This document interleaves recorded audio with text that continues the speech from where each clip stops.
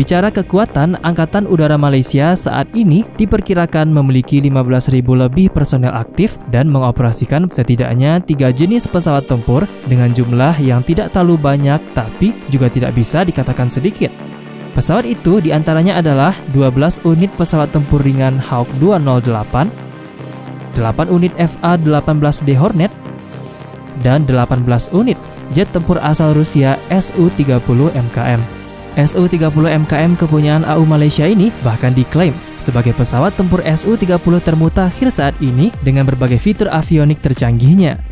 Di segmen lain, Angkatan Udara Malaysia juga dilengkapi dengan beberapa pesawat-pesawat canggih, seperti pesawat angkut A400M Atlas buatan Spanyol yang tak hanya berfungsi sebagai pengangkut, tapi juga mampu melakukan pengisian bahan bakar di udara atau aerial refueling. Dan AU Malaysia sudah punya 4 unit pesawat canggih ini.